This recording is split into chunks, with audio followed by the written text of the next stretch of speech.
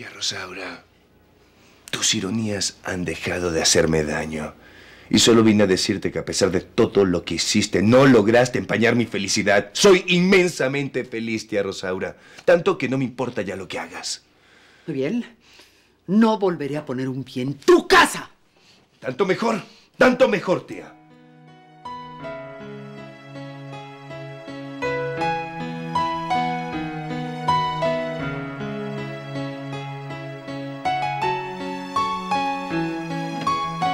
Marisabel. Marisabel, despierta. ¿Dónde está Ricardo? Uy, ya se fue desde temprano a la oficina. Dijo que tenía muchas cosas que hacer antes de irse a Europa contigo. Madrecita mía, nunca me había despertado tan tarde.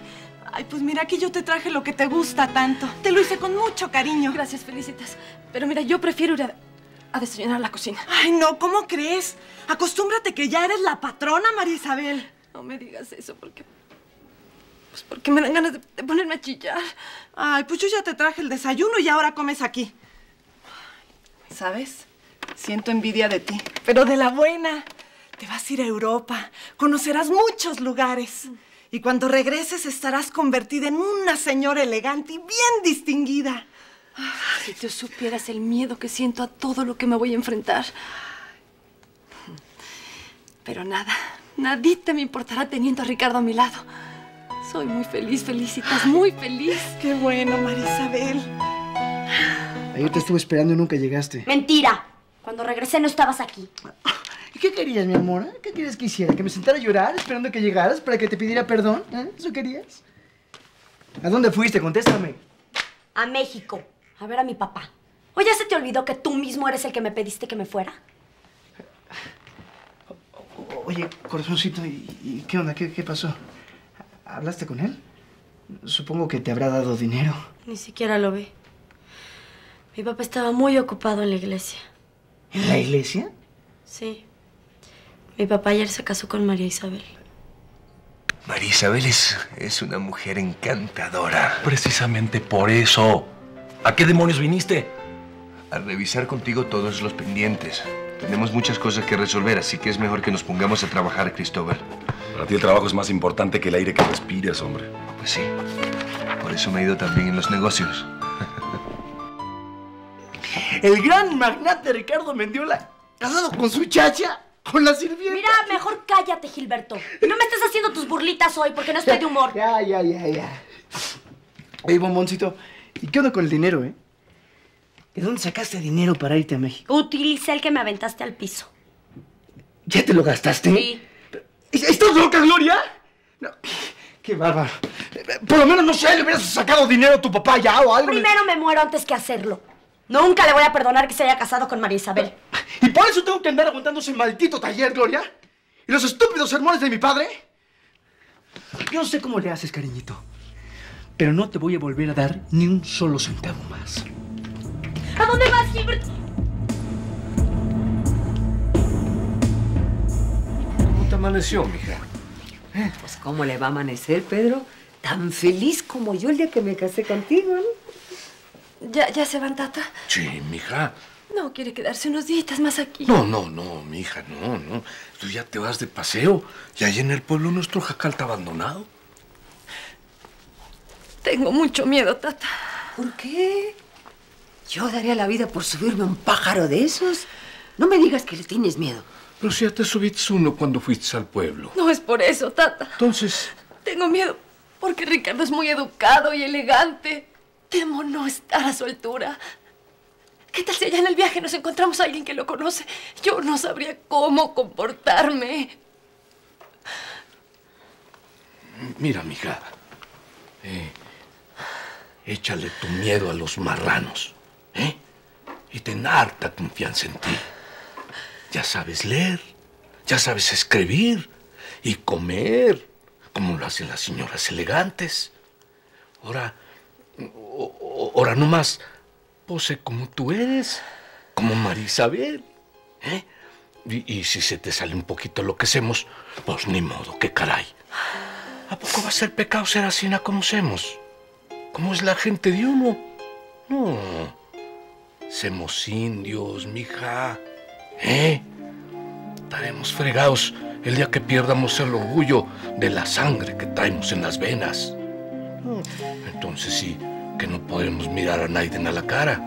Porque, porque se nos habrá caído la dignidad que Diosito nos dio y que los hombres no nos han podido quitar. ¿Ok? Por favor, estate al pendiente de Gloria. Se acude a ti, por favor, dale lo que necesite. Y si tiene algún problema, por favor, no dudes en llamarme enseguida donde quiera que me encuentre. Descuide, jefe. Así será. Amigo mío, espero de verdad que todo te salga muy bien y que, que seas muy, pero muy feliz. Gracias, Cristóbal. Soy muy feliz.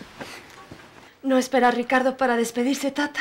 No, si ya nos despedimos, mija. Quería darnos unos centavos, pero este sonso de Pedro no los quiso agarrar. A mí no me importa su dinero. Yo lo único que quiero es que haga feliz a mi hija. Gracias, Tata. Ándale tú, se nos va a hacer tarde para agarrar el camión. Pero no se vaya sin darme su bendición.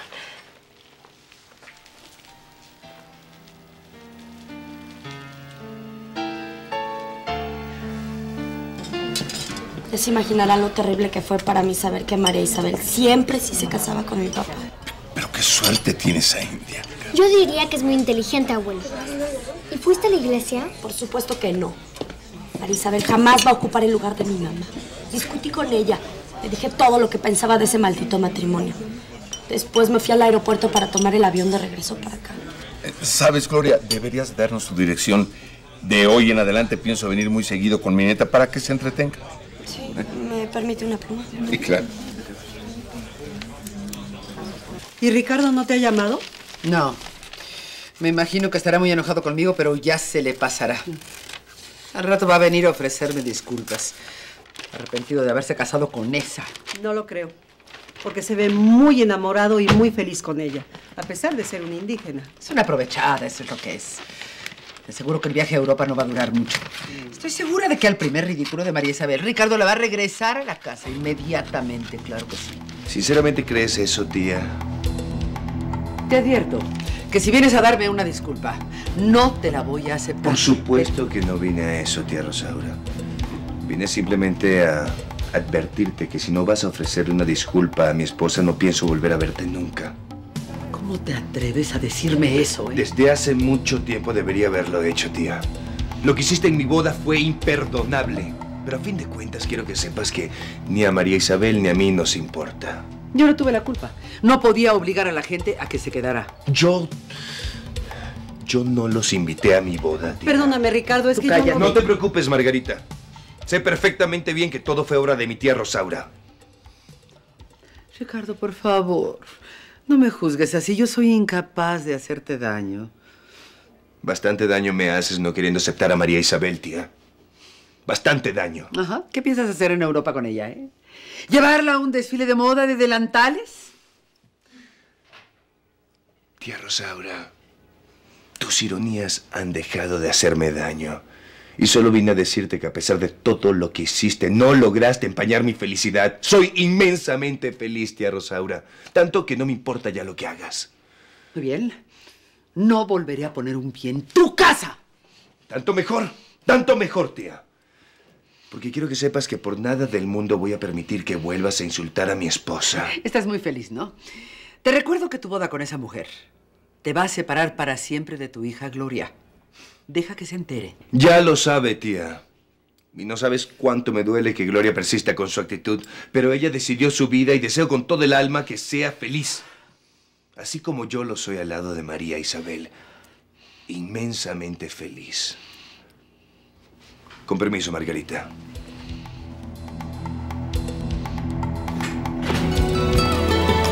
Un argumento original de Yolanda Vargas Dulce. Si tú supieras es como un grito que se estrella en el silencio, este vacío de tenerte solo en sueños,